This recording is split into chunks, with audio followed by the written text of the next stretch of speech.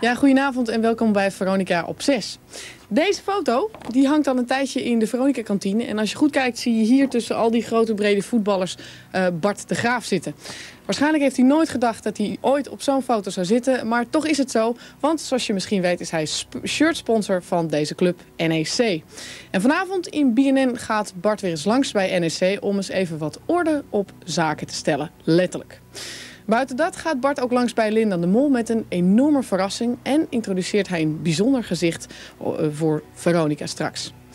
Maar er is meer vanavond. 10 uur betekent reality bij Veronica op 6 met een aflevering van 0611 Alarm. En hierin zie je de activiteiten van hulpverlenende instanties die in actie komen nadat er gebeld wordt met het 0611 alarmnummer. Om vijf over half elf vervolgens een nieuwe Seinfeld... waarin Kramer in de problemen verkeert. En hij wordt namelijk aangezien voor een serial killer. Maar nu, het is donderdagavond, het is half negen geweest. Tijd voor een nieuw dossier van die X-Files. Mulder krijgt een videoband onder ogen met daarop beelden van Japanse artsen... die autopsie uitvoeren op een buitenaards wezen.